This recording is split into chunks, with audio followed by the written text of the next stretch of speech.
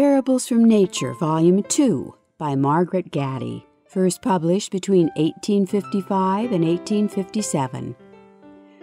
This unabridged recording was produced in 2005 by Alcazar Audio Works of Burlingame, California, which holds the copyright thereto.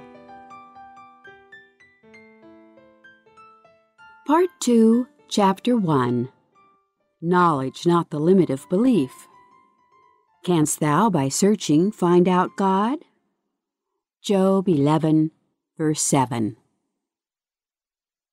It was but the banging of the door, blown to by a current of wind from the open window, that made the great noise and shook the room so much. The room was a naturalist's library, and it was a pity that some folio books of specimens had been left so near the edge of the great table for when the door clapped to, they fell down, and many plants, seaweeds, etc., were scattered on the floor. And do we meet again? said a zoophyte to a seaweed, a corallina, in whose company he had been thrown ashore. Do we meet once again? This is a real pleasure. What strange adventures we have gone through since the waves flung us on the sands together. Ay, indeed, replied the seaweed, and what a queer place we have come to at last. Oh, well, well, but let me first ask you how you are this morning after all the washing and drying and squeezing and gumming we have undergone. Oh, pretty well in health, seaweed, but very, very sad. You know there is a great difference between you and me. You have little or no cause to be sad. You are just the same now than you ever were, excepting that you can never grow any more. But I, uh, I am only the skeleton of what I once was. All the merry little creatures that inhabited me are dead and dried up. They died by hundreds at a time soon after I left the sea, and even if they had survived longer, the nasty fresh water we were soaked in by the horrid being who picked us up would have killed them at once.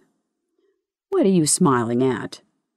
Oh, I am smiling at your calling our new master a horrid being, and also at your speaking so positively about the little creatures that inhabited you. And why may I not speak positively of what I know so well? asked the other. Oh, of what you know by all means. But I wonder what we do know. People get very obstinate over what they think they know, and then lo and behold, it turns out to be a mistake. What makes you say this? Oh, I have learned it from a very curious creature I have made acquaintance with here a bookworm. He walks through all the books in this library just as he pleases and picks up a quantity of information and knows a great deal and he's a mere nothing, he says, compared to the creatures who picked us up. The horrid being, as you call him. Why, my dear friend, the bookworm tells me that he who found us is a man, and that a man is the most wonderful creature in all the world, and there is nothing in the least like him. And this particular one here is a naturalist. That is, he knows all about living creatures and plants and stones, and I don't know what besides. Now, wouldn't you say that it was a great honor to belong to him and to have made acquaintance with his friend the bookworm? Of course I should, and I do. Very well, I know you would. And yet I can tell that this naturalist and his bookworm are just instances of what I have been saying.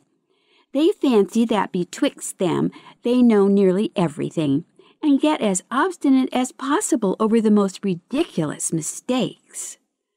My good friend, are you a competent judge in such matters as these? Oh, am I not? the seaweed rejoined. Why, now, for instance, what do you think the bookworm and I have been quarreling about half the morning? Actually, as to whether I am an animal or a vegetable. He declares that I am an animal full of little living creatures like yours, and that there is a long account of all this written on the page opposite the one on which I am gummed. Of all the nonsense I ever listened to, began the zoophyte angrily, yet amused, but he was interrupted by the seaweed. And as for you, I am almost ashamed to tell you that you and all your family and connections were, for generations and generations, considered as vegetables. It is only lately that these naturalists found out that you were an animal. May I not well say that? We hope you enjoyed this preview. To continue listening to this audiobook on Google Play Books, use the link in the video description.